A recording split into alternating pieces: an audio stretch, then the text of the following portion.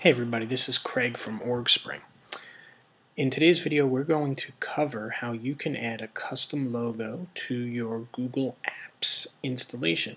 This is one of the most often requested features that we get from nonprofits whom we help set up Google Apps and also the Google Grants program. And it's actually a pretty easy fix through your control panel. So First thing you do is go to your main dashboard page inside any one of your apps programs. It's easiest to start off from Gmail, so we'll load up Gmail or your Google Apps page, whichever is easier to get into. I have mine loaded here. This is our orgspring.com address. And in email or Gmail, you'll see this little Gmail by Google logo up top.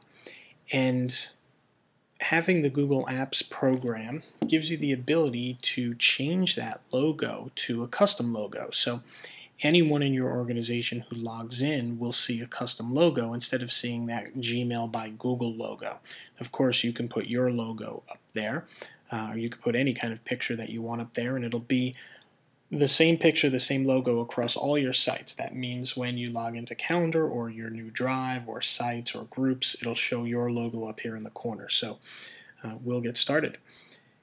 The first thing you do is come over to this cogwheel on the top right, drill down, and click on Manage this domain. Now remember, this only works with Google Apps. It's not going to work for a standard personal Gmail account. Once you're in your Google Apps, you'll come over here to domain settings. And then in domain settings you'll click appearance. And you'll see here you have a couple different header logo options. And the default is the standard Gmail logo which you saw before. And then when you're in a program like calendar you'll see this Google Calendar. And we've already put in a custom logo here, but if you wanted to upload your own logo, you would just come and choose File here, and then once that file is uploaded from your screen, you would hit Upload. Now keep in mind, you only have two options with image op options here. It has to be a .png file or a .gif file, and it must be scaled to 143 by 59. Google is not going to scale this picture for you, and you will get an error or the picture will not upload unless it is exactly those dimensions. So just take a handy photo editor, or if you're using a Mac, you could use Preview, and scale your logo to 143 by 59, or better yet, create one with those exact dimensions.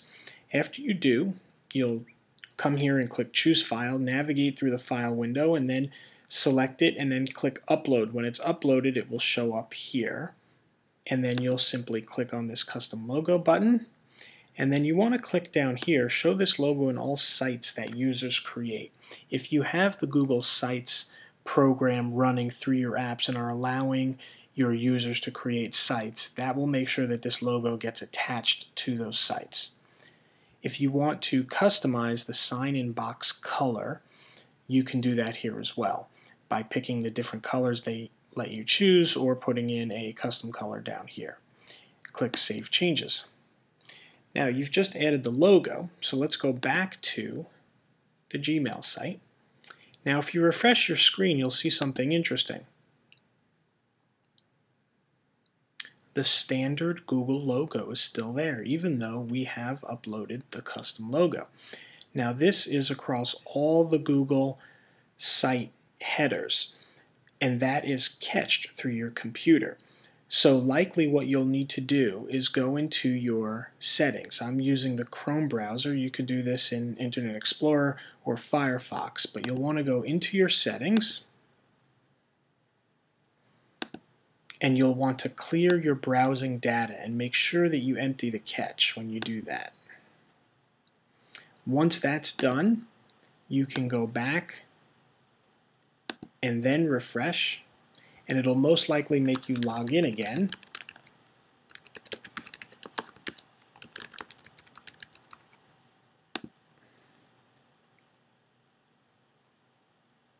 and then once you log in you'll notice your new custom logo here and across all of your different sites that you click on. Thanks for watching this video. If you liked it, Please feel free to share it with your friends and other people who might be interested in this video. And if you have any questions or need to get information on other tutorials, please drop us a note or a comment on this post. Thanks a lot.